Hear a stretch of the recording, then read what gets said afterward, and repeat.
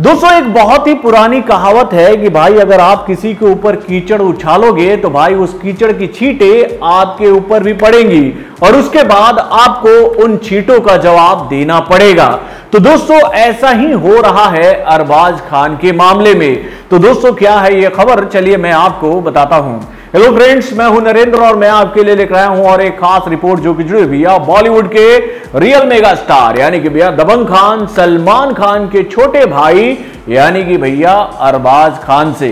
तो दोस्तों, आपको तो याद होगा कि कई दिनों से मैं ये खबर आप लोगों को बता रहा हूँ कि भाई इन दिनों कुछ सोशल मीडिया यूज़र्स की हालत ऐसी हो गई है कि भाई वो अपने मुनाफे के लिए, अपने फ़ायदे के लिए बिना कुछ सोचे समझे किसी के भी ऊपर कीचड़ उछाल रहे हैं। यानी कि भैया, इन लोगों को ऐसा लगने लगा है कि भाई, ये लोग पलट कर जवाब नहीं देंगे। लेकिन भाई, अब वो टाइम गया और ये लोग अब पलट कर जवाब दे रहे हैं। यानी कि भैया, कुछ लोगों को बहुत महँगा पड़ गया है अरबाज खान के खिलाफ झूठी खबरें फैलाना। यानी कि भैया, इन दिनों सुशांत सिंह राजपूत के मामले में, दिशा सालियान के मामले में क्या हुआ है? सोशल मीडिया पर यह तो आपने लगातार देखा होगा। यानी कि भैया, इस मामले में बॉलीवुड के बड़े बड़े सितारों को को निशाना बनाया गया है। और भाई, लगातार उन सितारों को इन मामलों में घसीटने की भी कोशिश की जाती रही है। तो दोस्तों, इस मामले पर अभी तो बहुत सारे सितारों ने अपने तरफ़ से कोई कार्रवाई नहीं की है। लेकिन भाई, अब ऐसा लगता है कि ये सितारे भी पलट कर जवाब देने के मूड में आ चुके हैं। और इसका आगाज़ कुछ दिनों पहले सूरज पंचोली ने किया था, जब उनका नाम घसीटा गया था दिशा सालियान के मामले में। और उसके बाद अब उसी पंक्ति में अगला नाम आ चुका है अरबाज खान का। यानी कि भैया, अरबाज खान को भी लेकर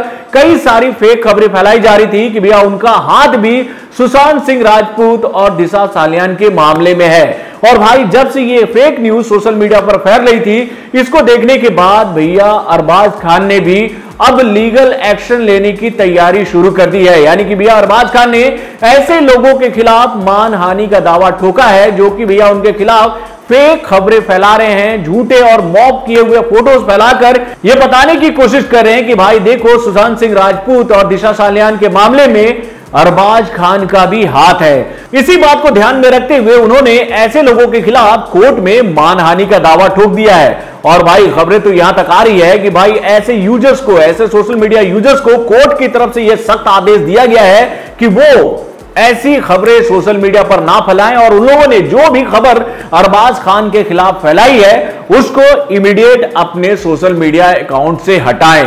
तो दोस्तों इस मसले पर आप क्या कहना चाहते हैं अपने कमेंट के माध्यम से मुझे ज़रूर बताइएगा।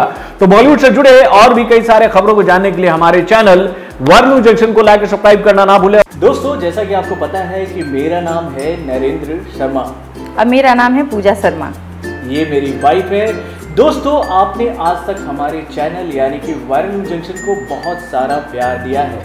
और मुझे उम्मीद है कि आप हमारे नए चैनल मैडम आगे बताइए। टेस्टी कटोरी को भी उसी तरह से प्यार देते आएँगे जिस तरह से अभी तक आपने वायरल इंजेक्शन को प्यार दिया है। दोस्तों हम अपने इस चैनल में आपको तरह तरह के व्यंजन बनाकर बताएँगे और उसके साथ बताएँगे कि कैसे आप अपने घर में बहुत ही आसानी से टेस्टी और हेल्दी फ़ूड बना सकते हैं। तो दोस्तों आप लोगों से मेरा निवेदन है यानी कि हम दोनों का निवेदन, निवेदन है।, है कि आप हमारे इस नए चैनल को वैसा ही प्यार और विश्वास दें जो कि आज तक आपने वायरल न्यूज़ जंक्शन को दिया है। दोस्तों हमारे इस चैनल का नाम है टेस्टी कटोरी और उसका लिंक हम लोगों ने डिस्क्रिप्शन बॉक्स में दे रखा है।